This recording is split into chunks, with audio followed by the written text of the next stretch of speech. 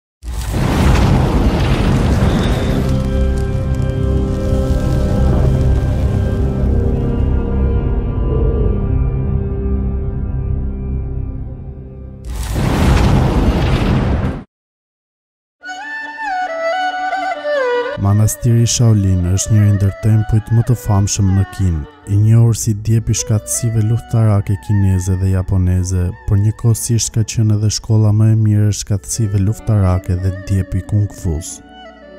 Me ndihmën e forcës së jashtëzakonshme, fleksible dhe shkallës së lartë të përballimit të dhembjeve, ky grup interesant i luftëtarëve budistë ka arritur reputacionin dhe famën botërore. Murgjit kanë ditë intensive dhe plot stërvitje. Ngrohjen e fillojnë me shirita stafete në kombinim me kërcimet në largësi. Pastaj radha iu vjen pompave, të cilat ata i bëjnë në vetëm dy gishta. Këto ushtrime jo vetëm që godasin gjoksin tuaj, por mund t'ju lëndojnë seriozisht nëse nuk jeni në formë. Ky ushtrim bëhet në 10 seri, ndërsa pjesa e parë e stërvitjeve zgjat 2 orë. Pastaj kalohet në pjesën luftarake të stërvitjeve, më saktë në Kung Fu. Mjeshtrit e vjetër të Kung Fusë në sesione të gjata u demonstrojnë studentëve të ri. Shumica e vijuesve kanë vetëm njëmbëdhjetë ose dymbëdhjetë vjet. Ajo që impresionon më shumë derisa të shikoni murgjit Shaolin është mungesa e plotë e ndjenjës për sigurinë personale. Mirëpo kjo vetëm në shikim të parë duket kështu. Në të vërtetë, me stërvitje të drejtë, këto lëvizje nuk janë aq të rrezikshme.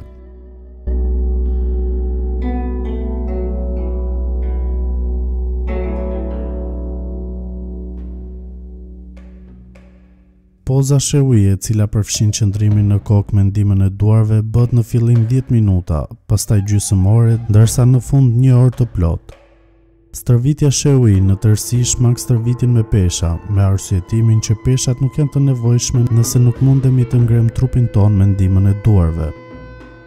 Studimi i Journal of Strength and Condition Research ka krahasuar stërvitjen tradicionale të rezistencës me pesha bashkë me stërvitjet pilometrike dhe kalistenike dhe ka ardhur në përfundim që muskujt njësoj mund t'i formoni edhe me ushtrime të thata si edhe me ushtrime tradicionale siç janë pompat dhe deadlift.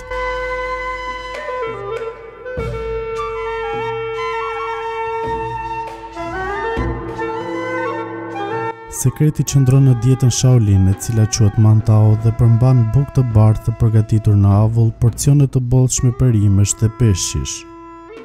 Po e vëreni që ky kuptim i ushqimit është plotësisht i ndryshëm nga besimet moderne që proteinat janë të rëndësishme në ndërtimin e muskujve. Mugujt e grurit të cilët përdoren në dietën mantau janë të pasur me oktakozanol, me bashkim alkooli që avancojnë qarkullimin e oksigjenit nëpër muskuj si edhe me vitaminën E e cila zvogëlon ndjeshmërinë e muskujve. Ky është ushqimi i cili u ndihmon sportistëve të stërviten gjithë ditën dhe të minimizojnë lodhjen e muskujve.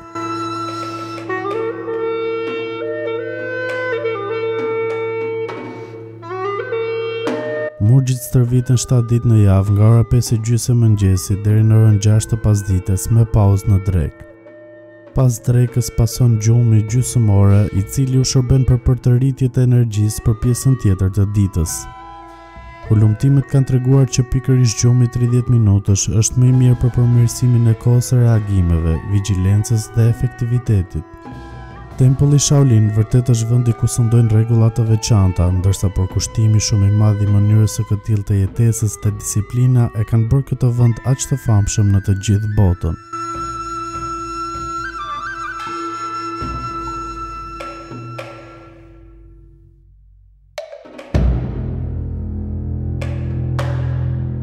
Merri gjërat shtruar. Të bërit e gjërave të gjitha njëherësh është pëthuaj si një manirë, por mendimi tepër të thinj më parë se të ka caktuar koha. Krahas ushtrimeve fizike, mos harro se edhe relaksi dhe pushimi janë të nevojshëm. Kombinimi sa më i mirë i tyre të zgjat jetën. Nëse punon në zyrë, apliko disa pushime me 15 minuta dhe një vakt dreke prej 30 deri në 60 minutash. Pushimi është i rëndësishëm nëse dëshiron të jesh gjithmonë në formë. Nëse nuk ta kërkon puna dhe nevoja, s'është e domosdoshme të flasësh shumë, pasi edhe ky proces kërkon energji. Mos harro se më mirë se fjalët vrasin veprat. Përmbaje inatin dhe zemëratën, në fund të fundit edhe ai është një stres që çon në plakje. Kontrollo harenë, të qenurit dhe të ndjerit të lumtur është themelore për shpirtin, por ekzagjerimi në hare është e tepërt. Mos u mendo shumë, Kjo gjë të çon të mendosh skenare të errtë dhe të zymtë, mbase më shumë se janë në realitet. Kjo sjell ankth. Kujdes me oreksin. Sipas Shaolin, të ndjerit pak i uritur të bën mirë.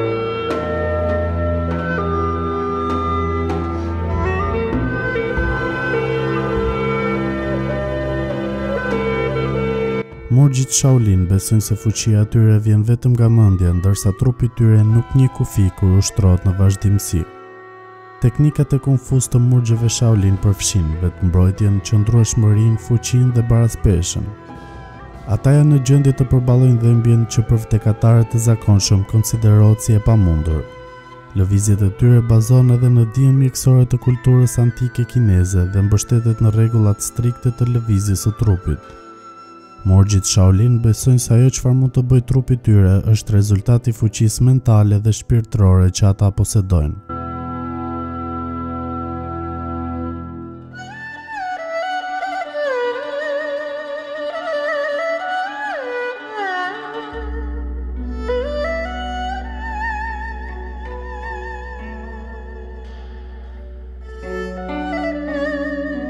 Shaolinët janë akrobatë dhe dinamikë. Këto foto magjike tregojnë dedikimin e murgjve të rinj në praktikimin e kung fusë.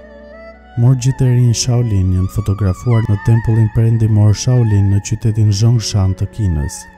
Shumë legjenda mund të fliten për ta, por jo të gjitha janë mashtrime.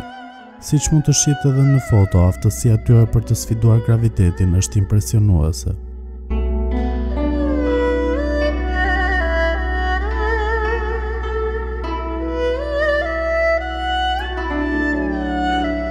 Në këtë foto do të shikoni se si murgjit Shaolin praktikojnë Kung Fu në një të nxehtë përvëlues gjatë spektaklit Shaolin Zen Music Show në qytetin Dengfeng të Kinës më katër gusht dy mijë e nëntëmbëdhjetë.